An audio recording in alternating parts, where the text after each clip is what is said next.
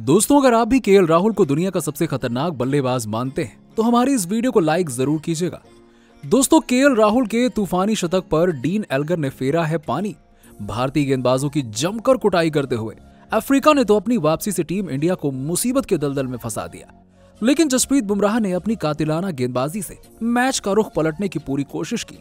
तो आखिर team India और अफ्रीका के बीच खेले जा रहे पहले टेस्ट के दूसरे दिन, ऐसा क्या हुआ कि करोड़ों क्रिकेट प्रेमियों की आँखें फटी की फटी रह गईं। आखिर कैसे बुमराह की घातक गेंदबाजी के बाद भी अफ्रीकी बल्लेबाजों ने भारतीय गेंदबाजों को दिखाए दिन में तारे, गेंद और बल्ले के बीच हुए ज़बरदस्त घमासान की पूरी हाईलाइट तो हम आपको दिखाएँगे, लेकिन उससे पहले आपको क्या लगता है कि राहुल एल्गर और कोहली में कौन है सबसे बेहतरीन बल्लेबाज कमेंट सेक्शन में कमेंट करके ज़रूर बताइए दोस्तों भारत और दक्षिण अफ्रीका पहले टेस्ट मैच में टीम इंडिया ने पहले दिन ही आठ विकेट के नुकसान पर उनसठ ओवर में 208 रन बना लिए थे। दूसरे दिन का खेल शुरू हुआ तब एक बार फिर से मोहम्मद सिराज और केएल राहुल मैदान पर उतरे। मोहम्मद सिराज अफ्रीकी गेंदबाज भी शानदार फॉर्म में नज़र आ रहे थे। वहीं मोहम्मद सिराज भी आक्रामक अंदाज में नज़र आ रहे थे। भारतीय टीम के स्कोर को तेज़ी से आगे बढ़ा रहे थे। अफ्रीकी गेंदबाजों का डटकर सामना कर रहे थे और दूसरे दिन राहुल का बल्ला मैदान पर जमकर दहाड़ रहा था। वो धीरे धीरे अपने शतक की तरफ़ बढ़ रहे थे। अफ्रीकी गेंदबाजों की ताबड़तोड़ धुनाई कर रहे थे। मोहम्मद सिराज के साथ मिलकर राहुल एक अच्छी पार्टनरशिप की तरफ़ बढ़ रहे थे और टीम इंडिया के स्कोर को धीरे धीरे आगे बढ़ा रहे थे। दूसरे दिन का पहला सेशन टीम इंडिया के नाम नज़र आ रहा था। देखते ही देखते केएल राहुल अपने शतक के बेहद करीब पहुँच गए। लेकिन टीम के लिए छाछठवां ओवर फेंकने आए कोइटजे ने मोहम्मद सिराज को पवेलियन का रास्ता दिखा दिया और मोहम्मद सिराज पाँच रन बनाकर पवेलियन लौट गए। वहीं के राहुल के साथ सैतालीस रनों की पार्टनरशिप भी टूट गई, जिसे देखकर हर कोई हैरान रह गया। टीम इंडिया का नौवां विकेट 238 रनों पर गिर गया और अब मैदान पर बल्लेबाजी करने के लिए प्रसिद्ध कृष्णा आ गए। राहुल ने कोइटजे की अंतिम गेंद पर मिड विकेट के ऊपर खतरनाक छक्का जड़कर अपना तूफानी शतक जड़ दिया। इसके बाद तो भारतीय खेमा खड़े होकर केएल राहुल के लिए तालियाँ बजाने लगा। राहुल बेहद आक्रामक अंदाज में बल्लेबाजी कर रहे थे और टीम इंडिया के स्कोर को तेज़ी से आगे बढ़ा रहे थे। लेकिन टीम के लिए अड़सठवां ओवर फेंकने आए बर्गर ने अपने ओवर की चौथी गेंद पर। के राहुल को क्लीन बोल्ड कर पवेलियन का रास्ता दिखा दिया। राहुल 101 रन बनाकर टीम इंडिया के लिए पवेलियन लौट गए और भारत की पूरी टीम 245 रनों के स्कोर पर आउट हो गई। अब इस लक्ष्य का पीछा करने के लिए मैदान पर ईडन मार्क्रम के साथ ईडन एल्गर उतरे। वहीं भारत की तरफ़ से पहले ओवर फेंकने आए जसप्रीत बुमराह। बेहद आक्रामक अंदाज में नज़र आ रहे थे। उनकी गेंदबाजी देखकर अफ्रीकी ओपनर पूरी तरह से हैरान थे। किसी भी बल्लेबाज को उनकी गेंद समझ नहीं आ रही थी।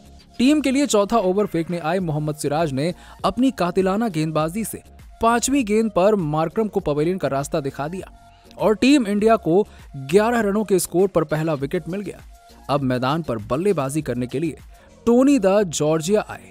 अलगर के साथ मिलकर स्कोर को आगे बढ़ा रहे थे। लंच ब्रेक तक दोनों बल्लेबाजों ने शानदार बल्लेबाजी करते हुए अपनी टीम के स्कोर को 16 ओवर में उनचास रनों तक एक विकेट के नुकसान पर पहुँचा दिया। एल्गर उनतीस रन बनाकर बल्लेबाजी कर रहे थे और वहीं पे टोनी 12 रन बनाकर मैदान पर टिके हुए थे। लंच के बाद दोनों बल्लेबाज मैदान पर उतरे। बेहद आक्रामक अंदाज में नज़र आ रहे थे। भारतीय गेंदबाजों की जमकर धुनाई कर रहे थे। एल्गर अपनी टीम के लिए तेज़ी से रन बना रहे थे। वहीं टोनी भी उनका भरपूर साथ निभा रहे थे, लेकिन अभी भी साउथ अफ्रीका की टीम एक रन भारत के लक्ष्य से पीछे थी। वहीं दोनों बल्लेबाजों ने अर्धशतकीय पार्टनरशिप भी कर ली और अपने टीम के स्कोर को 20 ओवर में 70 रनों तक पहुँचा दिया। भारतीय गेंदबाज मैदान पर विकेट लेने के लिए संघर्ष कर रहे थे। अलगर की बल्लेबाजी देखकर टोनी भी आक्रामक अंदाज में नज़र आ गए। भारतीय गेंदबाजों की जमकर कुटाई कर रहे थे। वहीं अलगर अपने अर्धशतक की तरफ़ बढ़ रहे थे और देखते ही देखते शरदुल ठाकुर की गेंद पर एक खतरनाक सिंगल लेकर अपना अर्धशतक पूरा कर लिया। लेकिन जसप्रीत बुमराह ने उनतीसवें ओवर में टोनी को पवेलियन का रास्ता दिखाकर टीम इंडिया को मैच में शानदार वापसी करा दी। इसके बाद भी बुमराह रुकने का नाम नहीं ले रहे थे। इकतीसवें ओवर में कीगन पीटरसन को भी पवेलियन का रास्ता दिखा दिया और टीम इंडिया की मैच में मज़बूत पकड़ कर दी। अफ्रीका का 113 रनों पर तीन विकेट गिर गया था, लेकिन एल्गर मैदान पर टिके हुए थे। अब उनका साथ देने के लिए मैदान पर डेविड बेंडलिंगम आ गए। इन दोनों बल्लेबाजों ने मिलकर टीम के स्कोर को आगे बढ़ाया। एल्गर अपने शतक की तरफ़ धीरे धीरे बढ़ रहे थे, वहीं बेडलिंगम भी रन तेज़ी से बढ़ा रहे थे। इन दोनों बल्लेबाजों ने अपनी टीम के स्कोर को इकतालीसवें ओवर में एक सौ सत्तावन रनों तक तीन विकेट के नुकसान पर पहुँचा दिया। वहीं देखते ही देखते एल्गर ने अपना तूफानी शतक जड़ दिया, और इसके बाद भी एल्वर का बल्ला रुकने का नाम नहीं ले रहा था। टी ब्रेक के बाद भी ये दोनों बल्लेबाज आक्रामक अंदाज में मैदान पर बल्लेबाजी कर रहे थे। आपको बता दें कि इन दोनों खिलाड़ियों ने मिलकर 100 रनों से अधिक की पार्टनरशिप पूरी कर ली और अपने टीम के स्कोर को तिरपन ओवरों में 213 रनों तक पहुँचा दिया। लेकिन साउथ अफ्रीका की टीम अभी भी 31 रन पीछे थी। तीसरे सेशन में भी अफ्रीकी बल्लेबाजों का खूब बोलबाला रहा। भारतीय गेंदबाज विकेट की तलाश में थे। भारतीय कप्तान रोहित शर्मा इन दोनों की बल्लेबाजी देखकर हैरान और परेशान हो चुके थे। वो भी अपने नए नए गेंदबाजों से गेंदबाजी करवा रहे थे, लेकिन विकेट नहीं मिल पा रहा था। देखते ही देखते अफ्रीका के सबसे खतरनाक बल्लेबाज, डेविड बेडलिंगम ने भी अपना अर्धशतक जड़ दिया। लेकिन भारतीय गेंदबाजों ने अंत में शानदार गेंदबाजी का नज़ारा दिखाया और अफ्रीका को एक के बाद एक कई बड़े झटके दिए और दूसरे दिन के मैच को बराबरी पर लाकर खड़ा कर दिया।